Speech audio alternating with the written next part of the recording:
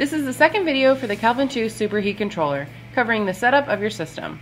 So first we will set the step motor stroke. Press and then turn the select knob to the correct number of steps for the EEV being used. The default is 2500, but you can see table 2 on page 4 of Bulletin 100-50-5.1 for a list of Sporlan EEVs and the steps for each. Press the select knob in to save your value.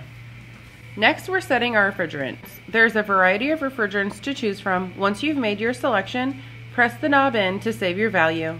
The default is 404A. Now we're setting our temperature sensor type. Select 2K, 3K, 10K, or 98.6K. The default is 3K.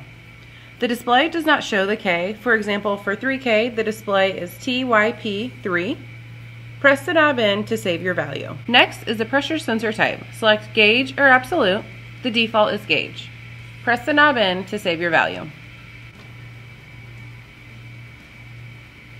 Next is the temperature units. Select Fahrenheit or Celsius. The default is Fahrenheit. Then it's the pressure units. Select PSI or bar. The default is PSI. Now we're verifying our set points. To enter the set point menu, press and hold the select knob for 5 seconds. Enter the password 111 and press the knob again. First, SHSP will appear and you can choose from 5 to 45 degrees Fahrenheit. The default is 10 degrees Fahrenheit. All the parameters are set to default, but you can change any if you need to. It's the same way as before. Push the button in on the value you want to change, rotate the select knob to your choice, and push the button in again to set that value. After all desired parameters are set, turn the select knob to ESC and push the button in to save and implement all changes.